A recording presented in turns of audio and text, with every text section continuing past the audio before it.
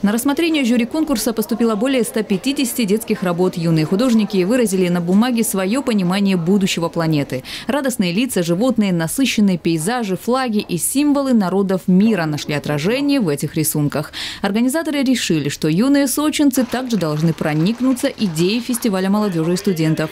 Тему международного мероприятия раскрыли все участники конкурса «Салют фестиваль». Отобрать лучшее оказалось сложно, но по правилам конкурса в финал вышли 19 20 картин по числу проведенных фестивалей молодежи и студентов, а в этом году он 19 по счету. Знаете, что самое для меня было главное? Дети нарисовали яркие цветные работы. А это значит только одно. Это значит, они счастливы.